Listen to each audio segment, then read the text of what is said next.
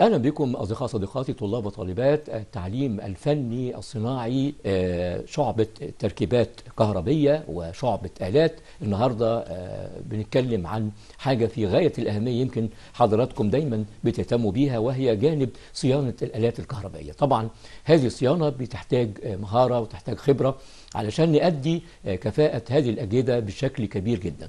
النهاردة هنتكلم عن مفهوم الصيانة وهنعيدها يمكن أو نبص عليها نظرة سريعة وهيحاضر معنا هذه المحاضرة آه، معالي المهندس محمود محمد عبد العاطي آه، خبير في هذه المادة. أهلا وسهلا معالي شكرا. أهلا وسهلا. منورنا فندم. الله يكرمك. آه، باشمهندس محمود يمكن في البداية تحدثنا في حلقات سابقة عن الصيانة. يمكن محتاجين ندي ولادنا مراجعة سريعة. عن هذه الجزئية. طيب أهلا بحضرتك أهلا وسهلا برحب بيك يا بحضرتك وسعيد بوجودي مع حضرتك. منورنا. آه وبرحب باولادنا وبناتنا آه الطلبة والطالبات قسم تركيبات ومعدات كهربية شعبة آلات الصف الخامس. آه إحنا في حلقة سابقة اتكلمنا عن آه مفهوم الصيانة الباب الأول في مادة صيانة الآلات أو مادة الصيانة لشعبة الآلات لأن إحنا اتفقنا إنه آه، زي ما أولادنا عارفين في الصف الخامس في المدارس الفنية المتقدمة بيبقى في الصف الخامس قسم تركيبات ومعدات كهربية ابتداء من الصف الرابع والخامس بيبقى في تشعيب للقسم يعني هو بيبقى تركيبات كهربية آه، تركيبات ومعدات كهربية من أولى لثالثه وبعد كده بيبقى رابعة وخمسة بيبقى بيتشعب آه، آلات ومعدات أو شبكات نقل وتوزيع. كويس. آه، مادة الصيانة موجودة في الشعبتين بس ولادنا لازم يفهموا إن صيانة الآلات بيبقى شغلها في جزئيات معينة خاصة بالمولدات والمحركات وصيانة آه، آه، ال- الوقاية أو صيانة شبكات. دي بتبقى آه، خاصة بمحطات التوزيع وخطوط النقل والمحولات الكهربية. والاثنين مرتبطين ببعض. الاثنين مرتبطين ببعض لأن هي منظومة القدرة الكهربية هي محطات توليد ومحطات توزيع. لكن التخصص هو اللي هيفرق. آه لكن لما هاجي أعمل صيانة لابد إنه يبقى فني الصيانة متخصص تمام. إما في الآلات والمعدات أو في شبكات النقل والتوزيع لأنه ده بيبقى شغله في مكان آه، مقفول اللي هو آه، المولدات وصيانه الآلات. تمام. بيبقى في المحطة داخل المحطة. لكن آه، صيانة الشبكات بيبقى آه، على كنترول. أبراج خطوط النقل آه. آه، ضغط خطوط النقل ال- آه، الجهود العالية أو في المحولات الكهربية سواء بقى في محطات التوزيع أو في خطوط النقل وخلافه وكابلات أرضية وخلافه تمام. هل في خطورة على أولادنا وبناتنا والعاملين في هذا المجال يا فندم؟ يعني على ال- الجهد العالي هل المفروض أن يكون في آه، أساليب احترازية لمواجهة هذه التيارات طبعا طبعا. إحنا في ابتداء من الصف الأول ولادنا لسه داخلين لنا في المدارس. إحنا دايما بنتكلم عن مفهوم السلامة والصحة المهنية والأمن الصناعي ومهمات الوقاية والسلامة والصحة المهنية تمام. وده جزء مهم جدا إنه يبقى مهمات الوقاية والسلامة والصحة المهنية هي جزء ما بيتجزأش من م- آه، تجهيزاتي أنا وأنا داخل أشتغل مم. يعني إحنا دايما بنقول لأولادنا يعني في عمليات التحفيز ويعني أنت بتيجي من غير ما بتنسى الموبايل بتاعك بترجع تجيبه أيوة.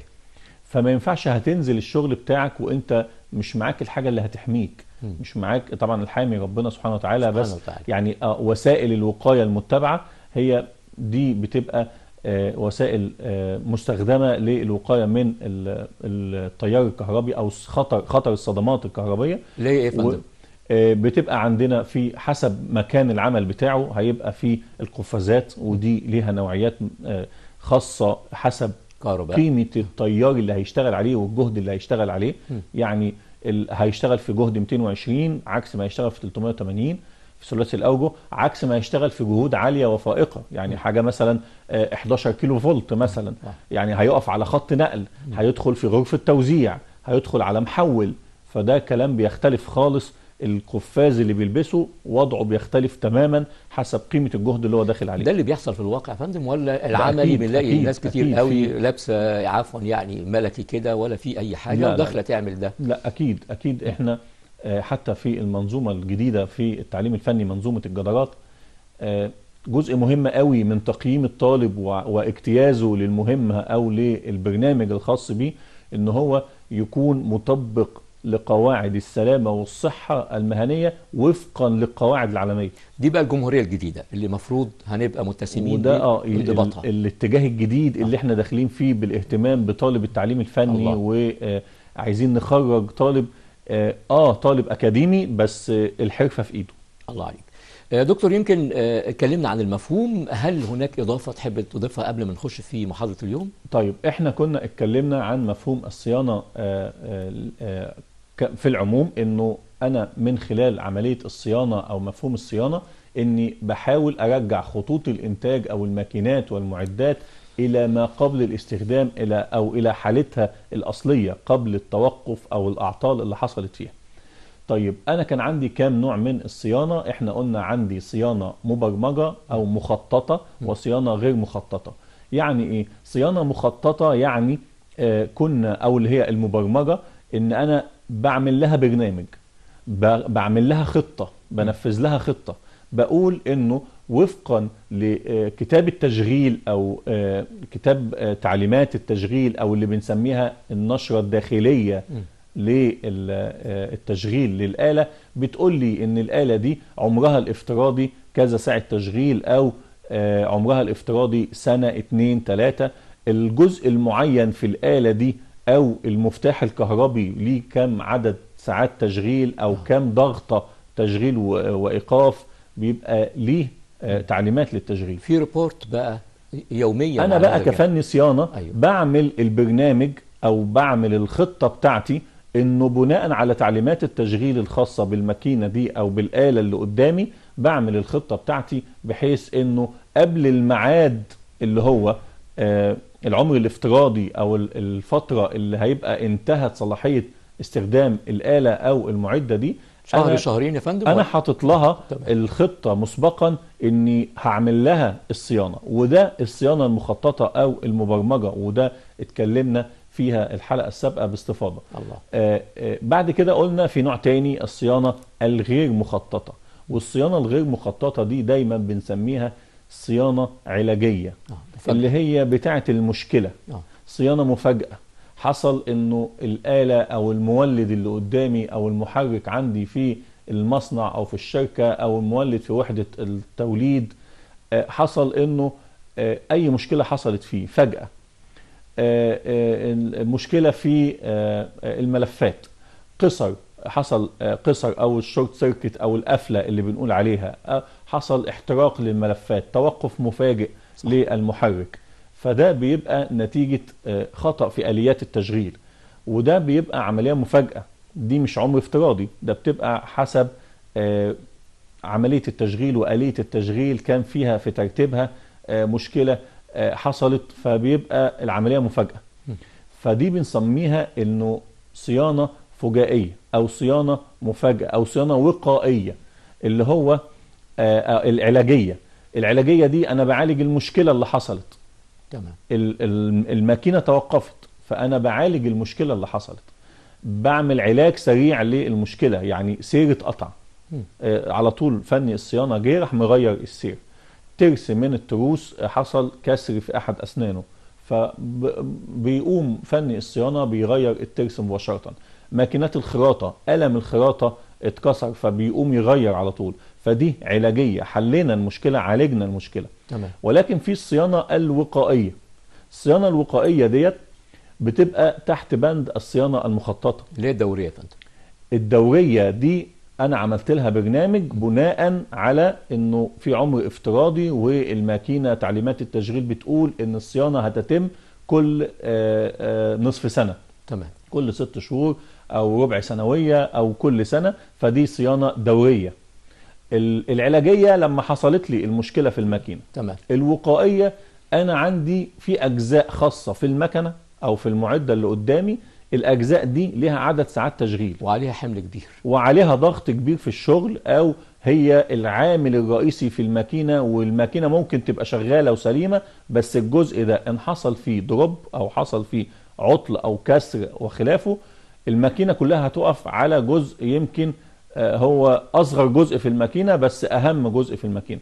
فبيبقى الصيانة الوقائية اللي هو أنا بعمل وقاية للآلة اللي هو أنا عارف إن العنصر ده عدد ساعات التشغيل بتاعته إن زادت بي- بينتج فيه مثلا ارتفاع في درجة حرارته. فارتفاع في درجة حرارته يسبب إنه آه، آه، مشكلة تحصل. تدريجيا مثلا. آه تدريجيا آه. هي المعدن بتاعه هيبدأ يبقى فيه ليونة يبقى فيه مرونة تحصل مشاكل.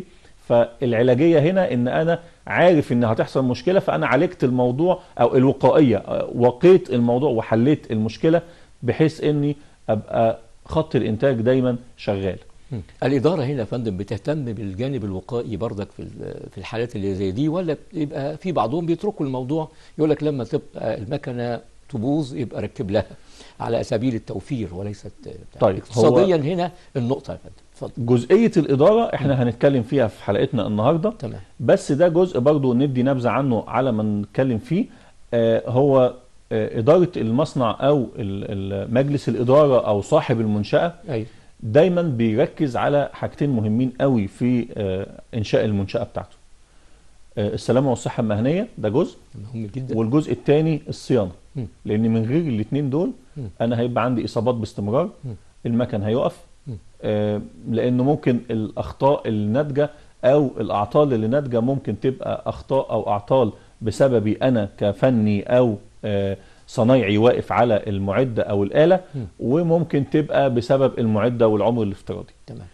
فدايما الإدارة بتبقى عاملة يعني جوه المصنع في إدارة خاصة يعني في إدارة للمنشأة بالكامل تمام. وفي إدارة خاصة بالسلامة والصحة المهنية وإدارة خاصة تمام. بالصيانة. في مكتب صيانة ومكتب الصيانة بيبقى فيه جميع التخصصات الخاصة بقى بكل حاجة في المصنع. تمام. سواء كان قطاع عام أو قطاع خاص مفروض أن يتوفر فيه هذا الجانب. أي منشأة صناعية آه. أي منشأة صناعية بيتوفر فيها الإدارتين مم. ودي حوكمة يعني مهم قوي إن أنا أمشي على ضوابط محددة علشان الصيانة. أروح أعمل منشأة صناعية لابد إن أنا أقدم تقرير بوسائل الأمان والسلامة والصحة المهنية في الرخصة ومزاولة تمام هقدم هأمن عمالي إزاي منشآتي متأمنة إزاي حريق آه، آه، أي أي أي مخاطر ممكن تحصل كمان بيأكدوا يعني في في الصف الثالث هم درسوا آه، منظومة الجودة وعلشان أحصل على الجودة آه، صح. لابد إن أنا أكون مطبق شروط. لبعض قواعد وشروط والشروط دي مش محلية ده بتبقى أيوة. شروط دولية علشان بيحصل بناء عليها على الأيزو وشهادات الأيزو أيوة. المختلفة طبقا للقواعد اللي هو بيطبقها من ال- ال- رفاهية العمال كمان من ال- آه، وضعية الماكينات والطرقات ويعني لحد إن هو بيهتموا بكل صغيرة لجان وكبيرة يعني. تدور على هذه الكيانات بشكل دولي ومفاجئ في أي وقت. صحيح تمام. صحيح. تمام. نعود إلى آه، مفهوم الصيانة اللي حضرتك اتكلمت عنه واتجاهنا بقى للأثر الاقتصادي فندم. طيب الأثر الاقتصادي للصيانة أو للصيانة الوقائية دايما بيكون إنه آه، الأثر ده بيبقى عائد على ال- المنشأة كمادة تمام. أو كأرباح وعائد على المنشأة في الإنتاج م. لأنه أنا لو ما عملتش الصيانة في ميعادها الماكينات توقفت أو إهمال في عملية الصيانة فالماكينات توقفت واحدة تلو الأخرى فخط الإنتاج ممكن يبقى الخط كله معتمد على إنه في ماكينة في النص آه، دي مراحل إنتاج فالماكينة من الماكينات توقفت يبقى الخط كله بالكامل توقف على محل المشكلة آه، في خسائر آه،. في وارتفاع في التكاليف. تمام. آه، ده كده بيبقى الأثر الاقتصادي من ضمن الحاجات اللي هو الأثر المادي وموضوع الأرباح والمنتجات. تمام. طيب الأثر الاقتصادي هنا بيقول لي كلما زاد الاعتماد على الصيانة الوقائية كلما انخفضت تكاليف الصيانة والإصلاح. تمام. وكذلك انخفضت الخسائر في الإنتاج نتيجة التوقفات المستمرة والمتكررة وهذه الحالة ستؤدي إلى ارتفاع التكلفة. وعندي سببين مهمين قوي إن هم يرفعوا التكلفة هنا. أيوة. زي إيه؟ قال لي إنه في توقف أو يعني في خسائر أو الأثر الاقتصادي اللي هيسبب لي خسائر هيبقى بسبب توقف الوحدات لفترة غير مبررة أو اللي هي خسائر في الإنتاج. آه، توقفات غير مبررة لأن أنا عندي التزام في تسليم آه، آه، عمل حاجة تمام وده ناتج لأنه برضو آه، في الصف الثالث هم يعني إحنا دايما بنربط لأولادنا اللي درسوه كله هم درسوا باب خاص بالحوافز. كنا بنعمل نظام الحافز وعلمناهم إن إحنا بنعمل نظام الحافز في المنشأة علشان العامل وهو واقف على الماكينة آه، على كمية إنتاجه. المطابقة للمواصفات مش كمية إنتاج وخلاص. نعم. كمية إنتاج مطابقة للمواصفات ال- اللي وضعتها الشركة آه، فاق هو آه، كمية الإنتاج المطلوبة تخطاها وأنتج أكتر بكميات مطابقة للمواصفات وداخل ساعات العمل.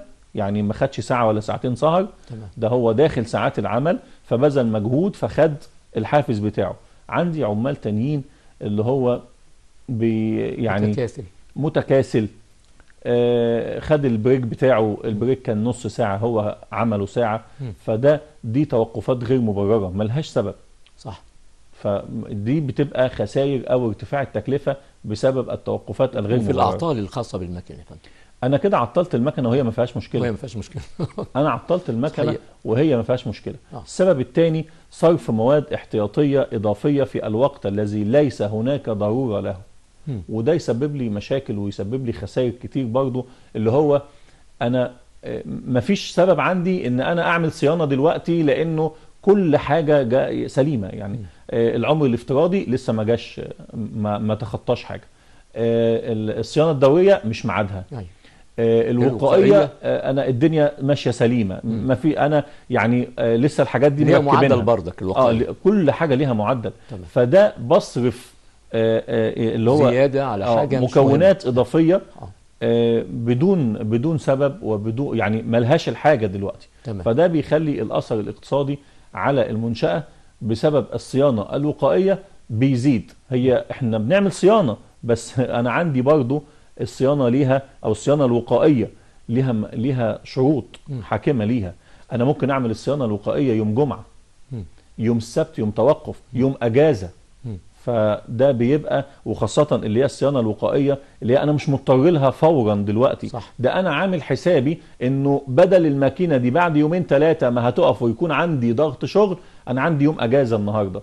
في أجازة في وسط الأسبوع. آه، آه، أجازة الأعياد المناسبات الرسمية في العطلات الرسمية. أنا ممكن أعمل الصيانة في في الفترة دي اللي هي الصيانة الوقائية. تمام هي الوحيدة اللي ممكن تتم في فترة الأجازات ال- اللي هو ما يبقاش في توقف ومش هتاخد وقت. الإنتاج يا دوبك ده قطع معينة بتتغير بس للامان زي ما حضرتك قلت آه، عندي بعد كده الصيانة التوقعية للمعدات الدوارة مم. وهنا عندي في المعدات الدوارة بيبقى فيه آه، مشاكل كتير ممكن تحصل مم. اللي هي الخاصة بإيه؟ الخاصة بالأجزاء الدوارة وطرق تجنب التعرض ليها حاجات كتير قوي ممكن توصلني إن أنا الأجزاء الدوارة أو الآلات الدوارة اللي هي المولدات والمحركات وخلافه هي دي اللي بنسميها الآلات الدوارة. أيوه. آه، لأن فيها جزء ثابت وجزء دائر في الداخل. فدي بينتج عنها مشاكل كتير سواء خاصة بالسلامة والصحة المهنية وسواء خاصة بعمليات الصيانة. تمام. وسواء كانت كهربائية أو باستخدام البنزين أو مشتقات البترول. كل الآلات الدوارة سواء إن هي مم. آه، في في ورشة ميكانيكا. أو ماكينة فريزة أو المنشار الميكانيكي في ورشة الميكانيكا أو آه، المولدات والمحركات في محطات الكهرباء أو ورش الكهرباء.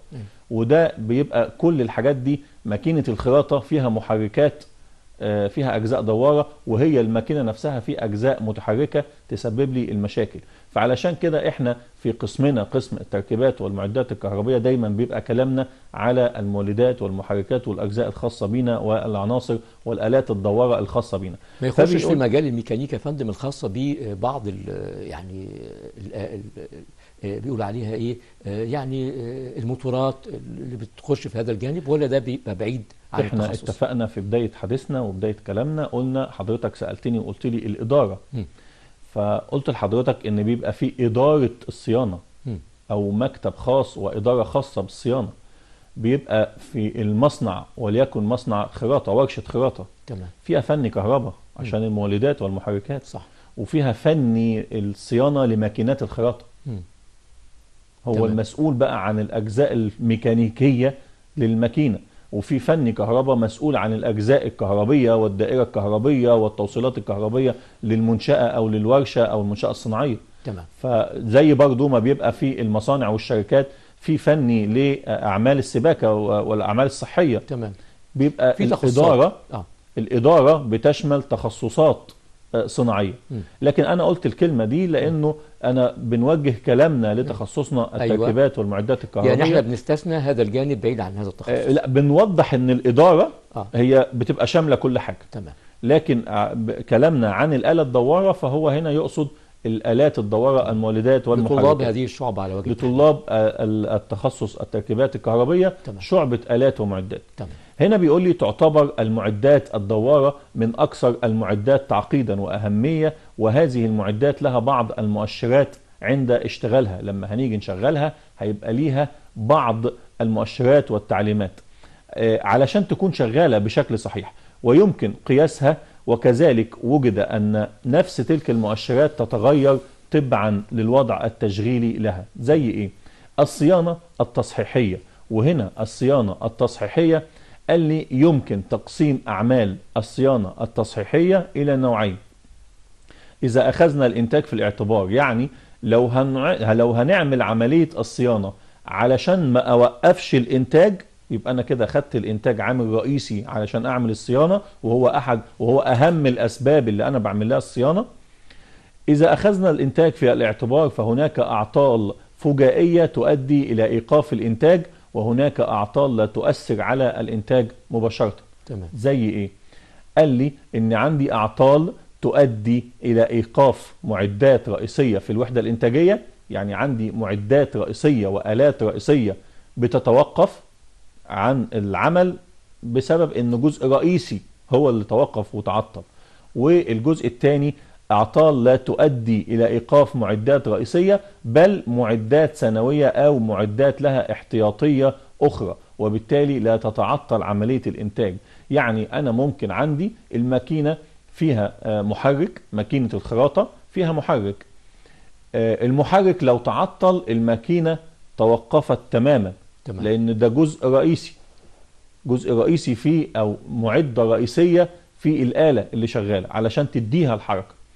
ولكن عندي أجزاء تانية أجزاء أخرى ممكن تتعطل في خط الإنتاج ما تسببليش توقف لخط الإنتاج أو عملية الإنتاجية في في في خط الإنتاج أو في المنشأة. وبيبقى ده كده مفهوم الصيانة التصحيحية اللي إحنا اتكلمنا عنه. يمكن يعني علاج هذه الجزء المصاب اللي هو في وقت العمل. أيضا يا فندم يعني وهي الماكينة شغالة ممكن قوي علاجها وهنا مش هيتوقف الإنتاج. إحنا دايما بنقولها لأولادنا إنه بنصحح مسار. آه. بنصحح مسار عملية الإنتاج. بنلحق بسرعة آه، لو هو الجزء مش رئيسي. آه، خلاص مش مؤثر على عملية الإنتاج. مم. آه، خلاص الوقت الماكينة شغالة وقت لكن أنا آه الإنتاج شغال سيب الإنتاج شغال ويعني العملية الإنتاجية تمام طالما مفيش توقف. ولكن لازم هعمل الصيانة آه. العلاجية بقى. هنا هتبقى قلبت لإنها صيانة علاجية لما آه، الإنتاج توقف اللي هو مواعيد. العمل انتهت آه. وقت الراحة. اللي هو ما وقفتش الإنتاج لكن في حاجات تانية آه، معدات رئيسية دي خلاص أنا لازم أوقف عملية الإنتاج فيها تمام دكتور يمكن الكلام عن الصيانة المبرمجة لخطوط الإنتاج بتبدو آه، لعدد كبير جدا من أبنائنا فيها نوع من الفهم يعني آه، أو الإيضاح. عاوزين نوضح أكتر يعني إيه صيانة مبرمجة ويعني إيه خطوط إنتاج مرتبة على هذه الصيانة. طيب آه زي ما قلنا في بداية مفهوم الصيانة أو إحنا اتكلمنا عن إنه في صيانة مبرمجة وصيانة غير مبرمجة أو مخططة وغير مخططة إحنا علشان نعمل البرنامج أو برنامج الصيانة بشكل صحيح لابد من توافر مجموعة أشياء. تمام. آه، حاجات مهمة قوي و- و- وعناصر مهمة قوي في ال- عملية الصيانة آه، علشان تبقى الصيانة تتم بشكل آه، بشكل سليم وبشكل واضح وحتى ب- بشكل آه، تقني فعال م. اللي هو آه، يبقى عندي عامل مدرب. العمالة بتاعتي عمالة الصيانة م. يبقوا مدربين على التطور السريع اللي بيحصل في المعدات ومعدات الإنتاج والماكينات. في تطور سريع بيبقى آه، في في في نوعيات الماكينات المستخدمة. فلازم يبقى عندي الكوادر أنا مدرب العمالة بتاعتي كويس. لازم عندي مكان للصيانة كويس. فلو جينا آه، صنفنا أو عددنا المستلزمات والعناصر المطلوبة لإعداد برنامج صيانة صحيح ومتكامل. قال لي هنشوف مع بعض كده رقم واحد كادر فني متخصص. تمام. رقم واحد كادر فني متخصص. وهنتكلم عن كل حاجة آه، بعد ما يعني لاحقا دلوقتي. تمام. كادر فني متخصص عندي رقم اتنين العدد والأدوات والأجهزة الحديثة. مم. لازم يبقى في تطور موجود. آه، رقم ثلاثة الأدوات الاحتياطية. رقم أربعة عندي ورش صيانة حديثة اللي هو المكان اللي هعمل فيه الصيانة لأنه مش كل أعمال الصيانة هتتم في مكان المعدة تمام. ده ممكن أنا. أفك الجزء اللي فيه أعمل عملية إحلال للجزء اللي فيه العطل وأخده في ورشة الصيانة علشان لو هو عاوز استبدال عناصر داخلية فيه أو وخلافه النقطة الخامسة إدارة صيانة خبيرة ومتخصصة ودي النقطة اللي حضرتك ذكرتها آه، النقطة رقم ستة الفحص الهندسي وده جزء مهم جدا عمليات الفحص الفني والهندسي تمام طيب لو جينا اتكلمنا عن جزء جزء من العناصر ديت أو دي العناصر والمستلزمات الخاصة أو اللازمة أو الواجب توفرها يعني ممكن السؤال هنا. أيوة. السؤال هنا يجي لي إزاي أيوة. أذكر الشروط الواجب توفرها أو العوامل الواجب توفرها لإجراء برنامج صيانة وقائيه أو لعمل برنامج صيانة. هعد له الست نقط دول. تمام. طب لو قال لي السؤال اشرح العوامل الواجب توفرها لإعداد برنامج صيانة مم. يبقى هتكلم عن كل واحدة زي كل ما. إحنا دلوقتي ذكرناهم تمام. وبعد كده نتكلم عن كل جزئية فيها. تمام. آه، أول جزئية عندي الكادر الفني المتخصص. والكادر الفني المتخصص عندي هو كادر الصيانة أو فني الصيانة اللي موجود. هنا بيقول لي كادر الصيانة يجب أن يكون ذو كفاءة فنية عالية ويتمتع بالخبرة كلا حسب اختصاصه يعني آه، زي ما حضرتك ذكرت وقلت إنه آه، هيبقى في حد يقوم بالشغل كله ولا يعني هو مدرب على الشغل كله ولا هنبقى شغالين ب... ب... بتقنية تخصصي. اختصاصية شوية أو شكل تخصصي زي ما حضرتك ذكرت هو لابد إن هي تبقى بشكل تخصصي علشان يبقى عندي أكتر من حد. أو أكتر من فني يقدر يلحق يقوم آه، يعني عملية الصيانة لأن ممكن أكتر من ماكينة فيها عطل. تمام. وعلى الماكينة الواحدة مش هيقدر يعمل أو على الماكينة الواحدة يبقى بدل ما واحد هو اللي. شغال آه. هنوزع العمل صحيح هنوزع العمل بحيث إنه يبقى الوقت يقل. آه، ال- أيوه الخسائر في الأرباح بتعتمد على وقت التوقف ووقت التعطل ونوع العطل وتكلفة العطل نعم. وغير إنه مفيش إنتاج بيطلع. فهنا بنقول إن كادر الصيانة يجب أن يكون ذو كفاءة فنية عالية ويتمتع بالخبرة كل حسب اختصاصه ويجب أن يخضع كل كادر لبرنامج تدريبي كامل. تمام. بين فترة وأخرى. على الجزء اللي هو متخصص فيه كل فترة هيتم تدريبه زي بالظبط فني السلامة والصحة المهنية. تمام. وأنا عايز أقول لأولادنا إنه دايما هم بي يعني بيبقى في حتة استهتار كده بموضوع السلامة والصحة المهنية. عندهم بيدرسوا من الصف الأول والصف الثاني بيدرسوا مادة اسمها الأمن الصناعي. سنتين. بيدرسوها لمدة سنتين. لكن تيجي تكلم الطالب أو الطالبة في مادة الأمن الصناعي يقول لك يا مستر دي مادة سهلة و... و20 درجة و... ويعني بي... لا ما تقللش من المادة. آه آه، هي مادة بسيطة وإحنا بنشرحها لأولادنا ك... كحكاية بنعملها بعمليات محاكاة كمان وبيبقى في المدرس اللي قدامك واقف لابس البلطو بالجوانتي بالخوذة ولو هيشتغل في حاجات متطايرة أو في رايش تلاقيه لابس النضارة لوقايه عينيه ولو في ورشة الميكانيكا في حديد ممكن يتساقط على القدمين بتلاقيه لابس السيفتي مش معقول هو متهاون ده هو بيطبق أو هو يعني مصلحة الفني ده ده هو بيعمل آه. جزئية بيعلمك إزاي هتقي نفسك آه، صحيح ف فكل الحاجات. دي آه. لأنه في دول الخليج ودول أوروبا تلاقي إنه فن السلامة والصحة المهنية ده اسمه مهندس. السلامه والصحه المهنية. وبيطلب يعني إحنا بنقول لأولادنا في الجزئية دي ده أنت لو طلعت آه، مكتسب مهارة آه، السلامة والصحة المهنية والوقاية الشخصية و و و ونميت نفسك فيها كويس وسافرت بره وأنت عامل خبير. وأنت عامل سي في كويس ليك صحيح. لا ده أنت هتروح تشتغل فني سلامة وصحة مهنية. مم. مسؤول السلامة والصحة المهنية في أحد المنشآت. الله. وده وده بره آه، الاهتمام بيه. وده الجديد عندنا هنا في مصر برضو آه، بيبقى آه، ال- الاهتمام بالجزئية دي لأن هي عايزين نفادي الخسائر اللي كانت بتبقى موجودة الله. بسبب العامل وبسبب الماكينة. فدايما يبقى فيه سلامة وصحة مهنية ودايما يبقى فيه الصيانة والاثنين مترابطين ببعض. طب نقف عند الجزئية دي يا فندم. حضرتك قلت في تخصصات كتيرة وكل تخصص لفني معين بيقوم بدور معين. هل في دراستنا هذه النوعية من التخصصات بحيث إن أبنائنا لما يخرجوا لسوق العمل يلاقوا آه، هذه الفسحة من آه، العمل وهذا التخصص دقيق آه، الجديد في التعليم الفني آه، منظومة التعليم الفني الجديدة منظومة الجدارات كل ما بيجي الطالب يتقيم ودي إحنا إيدينا فيها باستمرار وأنا أحد ال- المدرسين في المنظومة علشان أقيم الطالب رقم واحد تطبيق قواعد سلامة وصحة مهنية أيوة. رقم اتنين ارتداء مهمات الوقاية الشخصية. وبعد كده ادخل يا طالب نفذ. مم. نفذ مهمتك اللي انت متكلف بيها. مم. فيبدأ ينفذ الدائرة الكهربية أو المهمة المحددة ليه. مم. طب آخر نقطتين.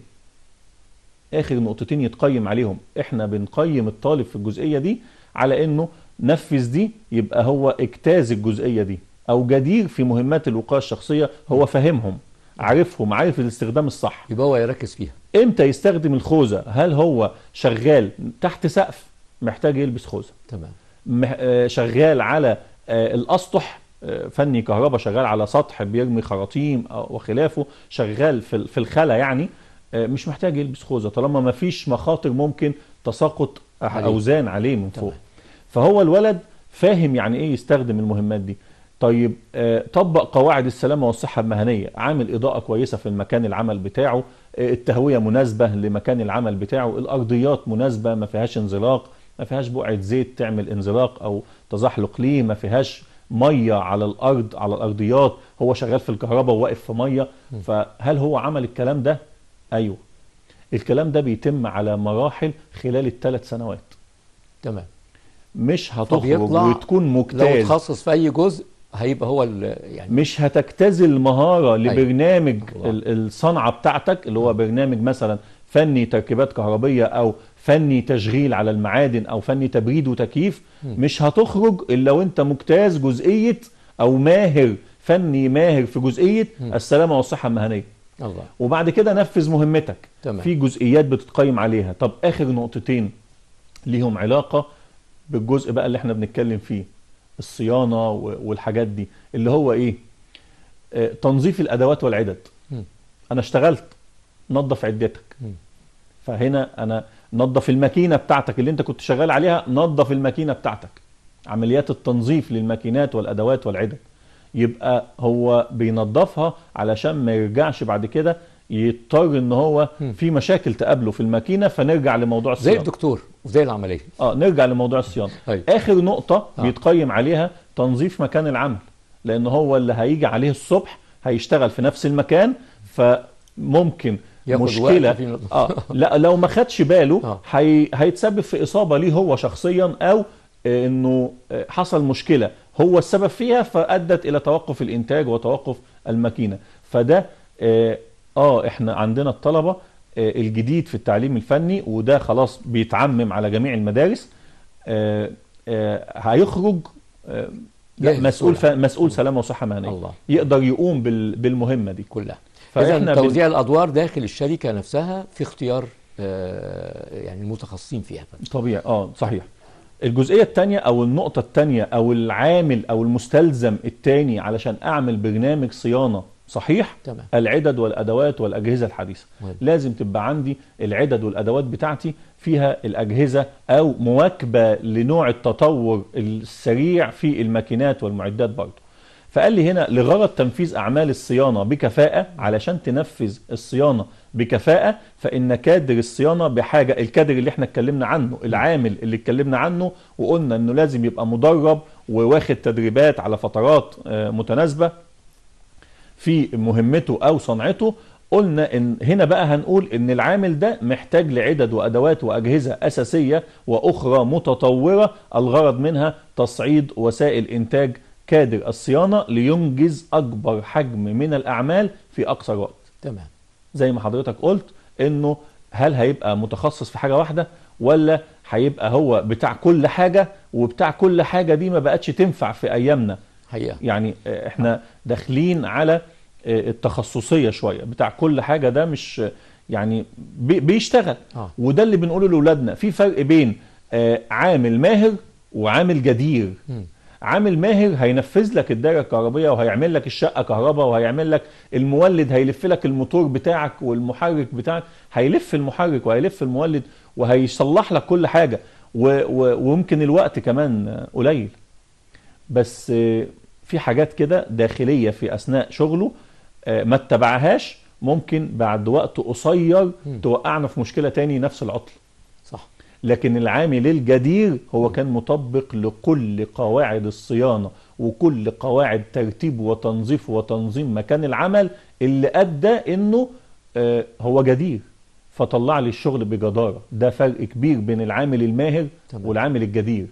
عشان يصل إلى هذا الجانب الخاص بالتخصص. محتاج ساعات عمل في تخصصه يا فندم عشان ياخد الإجازة بهذا الأمر ولا إيه؟ المتبع في سوق العمل. منظومة الجدارات قايمة على إنه بيدرسها بعدد ساعات. تمام. بيشتغل في دراسته. هي إحنا ما بنقولش إن هو يعني هو هي دراسة تمام. وطالب بس إحنا بنقول متدرب أيوه. ومدرب. مدرب. صحيح. يعني إحنا إحنا كمدرسين بن بن بنعلم ولادنا إنه أنت جاي متدرب. انت آه بتاخد شق معرفي مم. نظري وشق مهاري عملي. الاتنين انت بتتدرب عليهم بحيث انه خلال عدد ساعات معين لكل مهارة لابد انك تجتازها في الوقت ده. إذا اشتغل على طول مش هيقول والله لسه ال- الشركة أو المصنع هيعلمني نظام العمل إيه عشان اتواءم معاه لا لا المنظومة دي كانت بالاتفاق مع رجال الصناعة و- والسوق المحلي.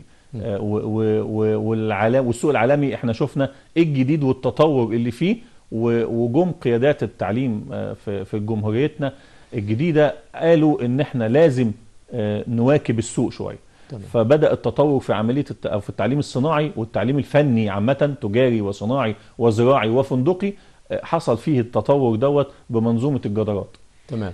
طب نعود إلى العناصر الأساسية للصيانة الوقائية يا فندم. يعني هل هنجتازها ولا هنبقى فيها دلوقتي؟ هنتكلم آه عليها. لسه إحنا هنكمل. إحنا قلنا معانا ست مستلزمات أو أيوة. ست تمام. آه عناصر. تمام. هنكملهم في الجزئية دي. الجزء الثالث اللي هو الأدوات الاحتياطية.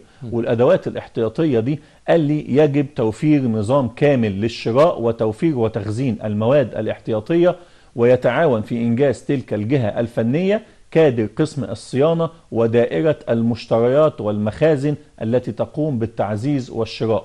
يعني هنا عامل الصيانة أو إدارة الصيانة مش في معزل عن إدارة المشتريات للمصنع اللي بتشتري المادة الخام للإنتاج. هتشتري لي أنا كمان أدوات الصيانة اللي إحنا اتكلمنا عنها في النقطة السابقة المتطورة والحديثة اللي مواكبة للتطور اللي موجود في الماكينات اللي أنا عندي في المصنع. تمام. بعد كده ورش صيانة حديثة. أنا محتاج أن الورشة أو مكان العمل بتاعي يكون آه، مواكب أو متطابق ومتناسب مع آه، نوعية الماكينات.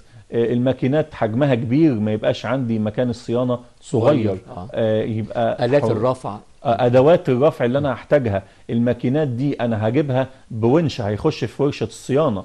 زي ما بنشوف في السكك الحديدية مثلا. بيبقى الجرار حجم ضخم داخل على الورشة.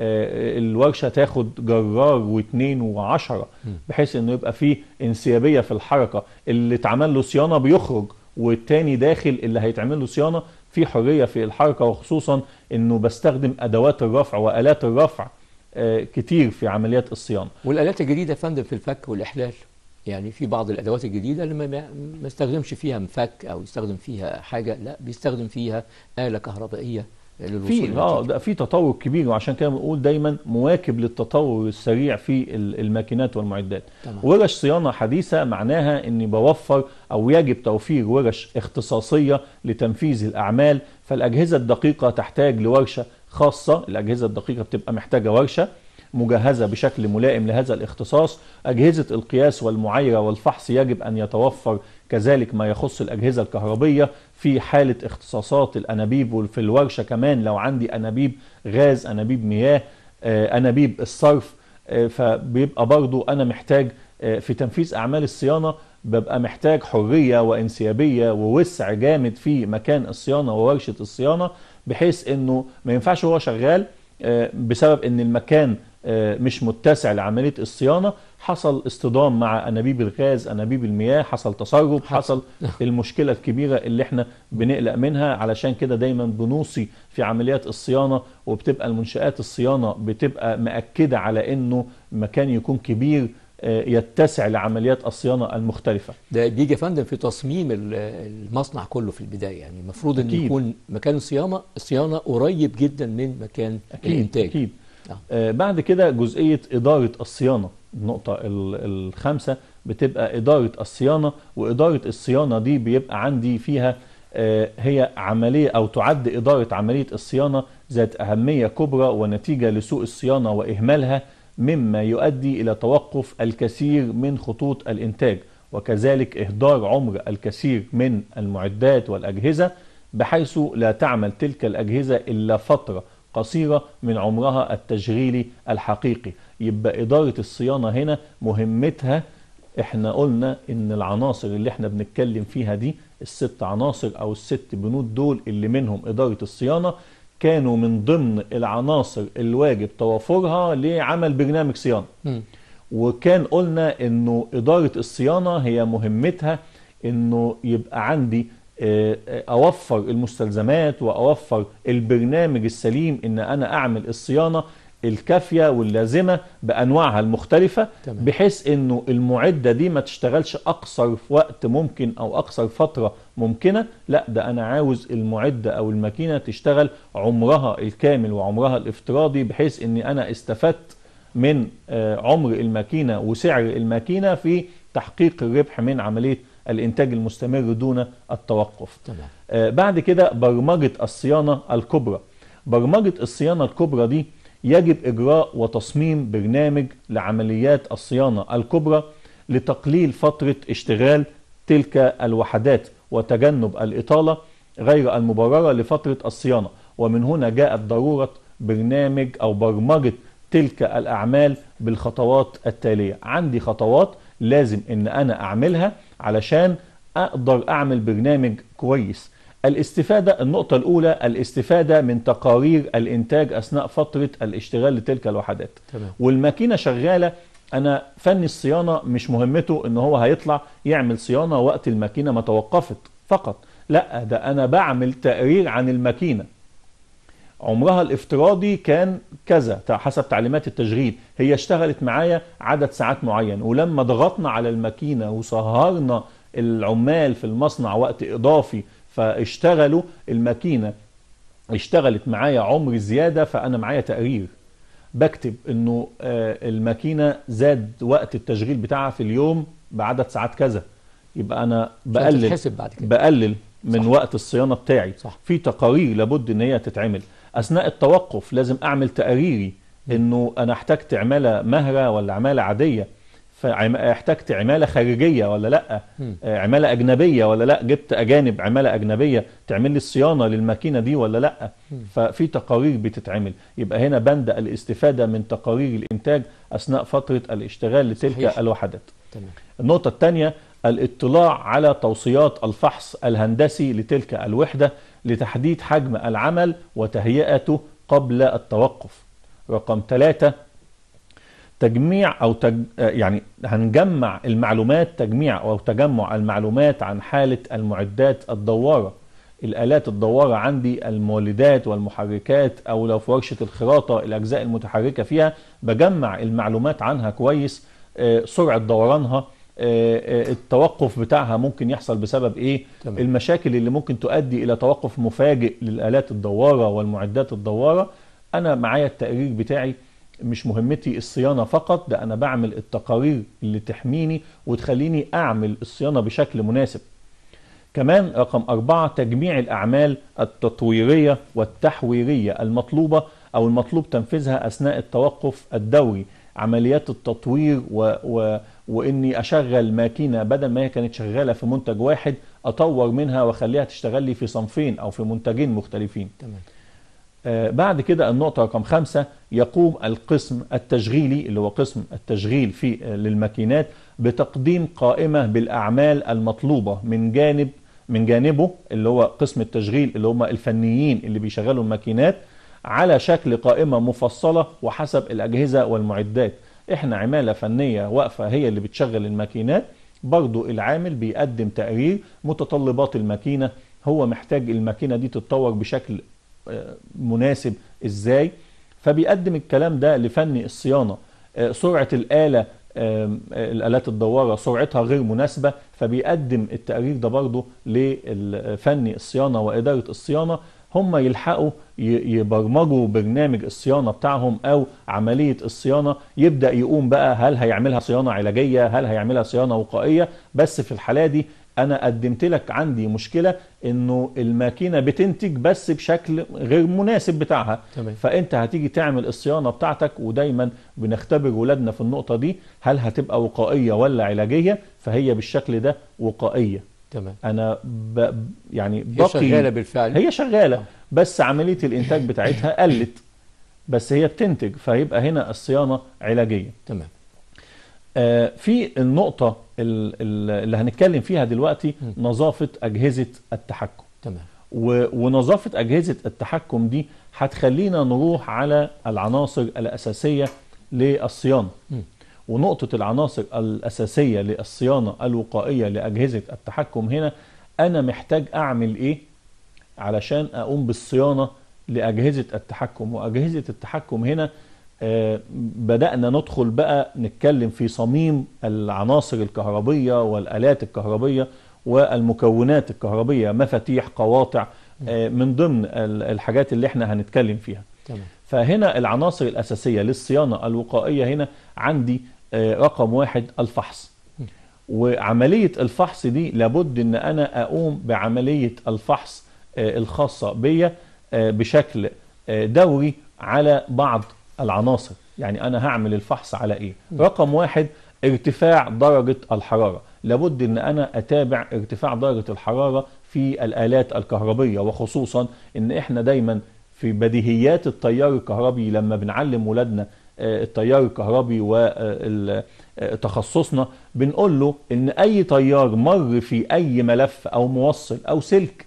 بيحدث تغير في درجة الحرارة هو مش هتعلى مرة واحدة بس بيحصل تغير في درجة الحرارة لأنه لو عليت قوي إحنا رحنا في اتجاه تاني اللي هو انهيار العزل على السلك فأدى إلى حدوث القصر والمشاكل اللي ممكن تحصل بسبب التيار الكهربي وارتفاع درجة الحرارة. تمام. النقطة الثانية تراكم الأتربة على الأجهزة. ده بيؤدي إلى عدم التوصيل الجيد آه، للتيار عازل على طول. آه آه، النقطة الثالثة فك مسامير الرباط. نتيجة التشغيل المستمر للآلات والقواطع والمفاتيح آه، اللي اشت... ال- آه، عمليات التشغيل المتكرر والمستمر في أجزاء ثابتة وأجزاء متحركة وبيبقى فيها مسامير للرباط والتثبيت و- ونتيجة الاهتزاز والتشغيل المتتالي بيحصل إن مسامير ال- ال- الرباط دي. بيحصل فيها ارتخاء. آه آه، ارتخاء انحلال أو آه إن هي ب- بتتفك فبتحتاج إني أتابع ال- الجزئية دي كويس تمام. سماع صوت أزيز اللي هي الزنة اللي إحنا بنسمعها في ال ال آه، الآلات آه، الدوارة أو الآلات الكهربية أو آه، ممكن في بيوتنا ولادنا وهم قاعدين آه، ممكن يكون موصل مشترك. بيعمل صوت صوت آه فهو حاطط الكابل التوصيل الفيشة حطه في المشترك بشكل مش مناسب بشكل غير مش صحيح. فوانت قاعد هتسمع صوت آه، أزيز كده آه. أزيز كده آه. أنت مش عارف هو جاي منين. على طول روح على المشترك الفيشة مش متثبتة كويس. فالتلامس لنقاط التوصيل مش محكم ففي هنا عملية. بتحصل اسمها آه، آه، صوت الأزيز ده بقى وبعد كده هنسميه قوس كهربي أو عملية القصر اللي بتحصل آه، نتيجة إنه في سماع صوت أزيز موجود تمام. عندي بعد كده شم رائحة غير طبيعية وده الطبيعي إن أنت قاعد شميت ريحة شياط اللي هي آه، رائحة ال- الدخان أو آه، آه، آه، رائحة كده آه، شبيهة بغاز الأوزون آه، أو غاز الفريون. ده بيبقى آه، ودي بتبقى فيه يعني آه، بتبقى موجودة بشكل كبير في أجهزة التلفزيونات الموجودة في المنازل. أماكن رطبة شوية. أماكن فيها رطوبة. فالرطوبة. والنفس داخل المنازل بيترسب على التلفزيون لأنه في فتحات من فوق تهوية للتهوية التلفزيونات العادية بيبقى فيها فتحات للتهوية من فوق الفتحات دي بينزل منها ال- الترسيب ال- ال- البخار أو ال- الرطوبة بتتكون وتتراكم على العناصر الإلكترونية الداخلية للوحة التحكم أو تشغيل التلفزيون فبيصدر عنها صوت زنة عند بدء تشغيل التلفزيون صوت زنة كده مصحوبة برائحة أنا أقدر أميزها. مم. ده خطر. دي دي حاجات برضو أنا لازم أتابع. لازم يكون في أجواء مناسبة لهذه الآلات. آه، صحيح. لازم أتابع كل ال- الحاجات دي. تمام. آه، جزئية تانية التنظيف. التنظيف هنا تعتبر عملية تنظيف الأجهزة من الداخل والخارج من الأمور الهامة للتشغيل الجيد لمنع التسرب آه، آه، آه، منع تسرب التيار. في وارتفاع درجة الحرارة وعادة يتم تنظيف الأجهزة الكهربية بواسطة نفخ الأتربة بهواء بضغط منخفض وكذلك تتم عملية التنظيف لأي جهاز تحكم أثناء عملية صيانته وإصلاحه. هنا بستخدم عملية النفخ اللي إحنا بنقول عليها للأتربة اللي هو ببلاور على سرعة آه، خفيفة. بقدر أنظف التلفزيون بتاعي العناصر اللي موجودة أو الأجهزة اللي موجودة عندي ودي بتبقى عملية مهمة قوي اللي هي تضمن لي التشغيل والعمر ال- ال- الطويل راضي. للآلة بتاعتي. حقيقة. بشكر حضرتك باشمهندس محمود محمد عبد العاطي آه، خبير هذه المادة الرائعة مادة صيانة آلات كهربائية. شكرا. وبتمنى لك وبتمنى لكل آه، أبنائك الطلاب النجاح والتوفيق. شكرا لحضرتك. شكرا. كنت سعيد مع حضرتك النهارده. شكرا. شكرا. شكرا لكم. الطلبة في كل مكان والنهاردة يمكن حلقتنا كانت متميزة قوي لأنها بتتكلم عن مفهوم مهم جدا في عملنا المستقبلي. إن شاء الله تكونوا استفدتوا منها أنتم كمان. بشكركم وأتمنى لكم مزيد من التوفيق. إلى اللقاء.